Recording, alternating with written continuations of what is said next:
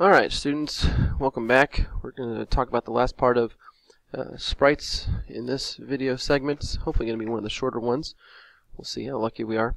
So the purpose of this is we're going to talk about how to rip something from the internet, namely rip a sprite sheet. Maybe you want to uh, try something that's already out there and you want maybe to have a couple different frames that somebody's already put together and uh, you want some nice animation that's going to look like that. Uh, the point is that you can actually use uh, animations and images that somebody else has already created. It kind of makes your game look a little nice. Now when it comes time to actually produce and sell your game, you want to make your own sprites, but maybe for a quick, uh, some quick effects and some trial and error, you want to see uh, what it's going to look like using maybe a Mario. You can make a little Mario fan game or something like that. So we're going to start and do that, basically create that Mario sprite image right there. So I'm going to just click on new, uh, create sprite. I'm going to call this SPR. Maybe I'll make this uh, Mario 2 or whatever. And I'll say edit sprite. Of course, I don't have anything right there. At this point, what I'm going to do is go over to Google and maybe uh, type in Mario sprite sheet. So a sprite sheet is where somebody has gone and uh, made just a sheet of sprites. And if you're lucky, they are equidistant from each other, which makes your life a lot easier. So uh, we'll go through here. I think the one that I chose was down here, was this one right here. We can choose, you know, there's lots of Mario sprite sheets that you can see from all the different Mario games.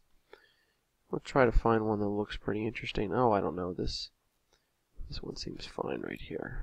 Just the, your generic. The problem with this one is if I look at it, it's 255 by 148. I guess that might be about the best that I'm going to get. Here we have 389. And he's facing and spinning around. This one's not too bad. The, let's try this one right here. So I'm just going to right click and uh, save this image. So save image as I'm just going to throw this on my desktop. I'm going to call it uh, Mario Sheet 2. So there it is. I'm going to go over here and I can go edit and the, within my sprite editor I can say create from a strip. So I can create my image from a strip and I'm going to go down here Mario Sheet 2, perfect, there it is. I click on open and if you look here I've got uh, those images and this little rectangle is going to uh, allow me just to clip any one of those uh, from the image. What's interesting though is I can actually say hey I don't want just just one image. Maybe I want two. Or maybe I want four. Okay? And then I can put this uh, this little clips anywhere that I want. In this case let's see here. You know, I kind of like. Ooh, I really like the the flying Mario with his cape here from uh, Super Mario World. Um, the problem is this says images per row. Let's see if I want all four of those, but there needs to be four in a row. So that's going to kick it out to the side right there. And then I'll try to line it up. And then you can just adjust these uh, parameters to try to fit everything in properly. Now one of the things at this point that I'm noticing is that this is getting really is really small. It's kind of hard to see what's going on. So what I might do uh, temporarily is I might just expand this sprite sheet just for the this demonstration purposes. Okay, so obviously I clicked on that and it grabbed those four images. It wasn't really what I wanted. I could uh, open up, create from a file, Maybe I'll click on that sprite sheet too and I'll open it up. Now there's there's all of those images all there, but it's that's still just one image. That's not really what I want. One thing I could do, if you remember, I can uh, stretch this to maybe 300%. Uh, we'll try to have excellent. Now if we look there, it's going to be pixelated. There's no way you can really avoid that. But then I'm going to say, I'm going to save this. I've just modified this image. I'm going to save this as a PNG file.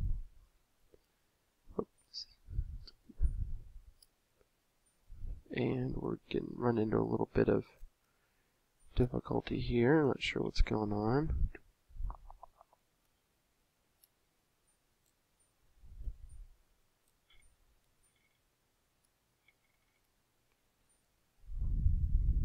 Okay, not sure exactly what happened there, but we've got this loaded up again. We're going to save this under desktop. We're going to save this SPR Mario 2 big.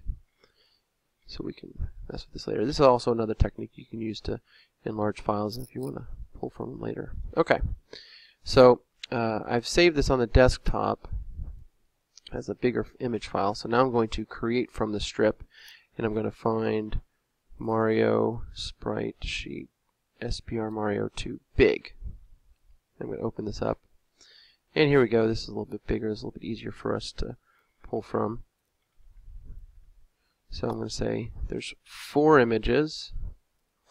Four images per row. I'm going to put this right here.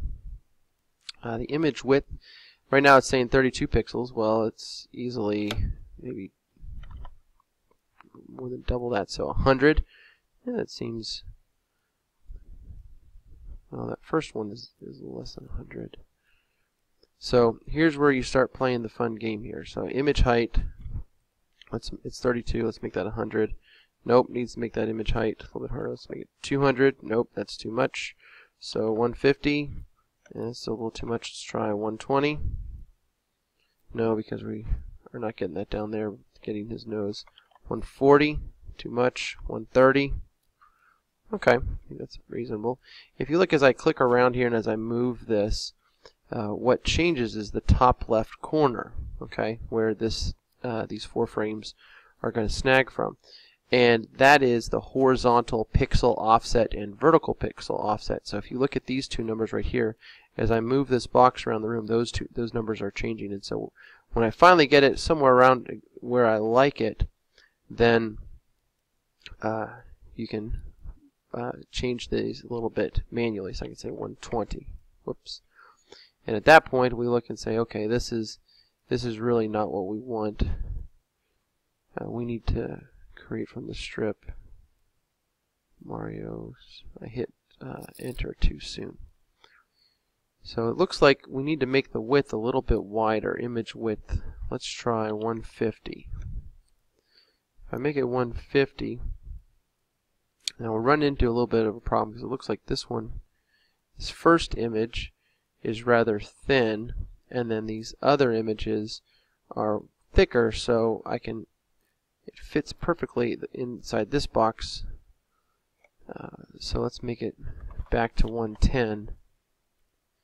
If I do that, I've got equal, I've got everything centered on both sides here for this first image. That one's great, but then if you look over here, the whole image is, is wider, so I, I, I can try to maybe make it 140 and center it a little bit better. But now this one is a little bit forward. And so what we have here is these sprites aren't completely equally spaced, it looks like. Even if I do, maybe if I put it right there at the beginning, this and I pull this line if I make the image width shorter, like 100, it ends there, but then you can see that it works fine for this one, but then those other two get, get cut. So maybe choosing this one with a cape wasn't the best, but if I go up here, things might be a little bit better. Mario uh, running with the cape. I can't have a uh, start off at zero and here we've got a little bit of area. Here we're totally in. So I might make the width, uh, change the width to maybe 120. And so I've got him there. I've got him about there. It's about the same on each one of them. That's actually pretty good. And what we'll be able to do later on is just chop off that end white part. So that's pretty good for right now. It's, it's difficult to find sprite sheets online that are equally spaced, but even if you had to manually clip it and then do some uh, editing with the other tools that we already used. It's definitely a possibility. At this point we can see everything's looking pretty good. If I even do go to show preview all of a sudden, it, that, it's not too bad at all. We could, He's at the same height in all of these.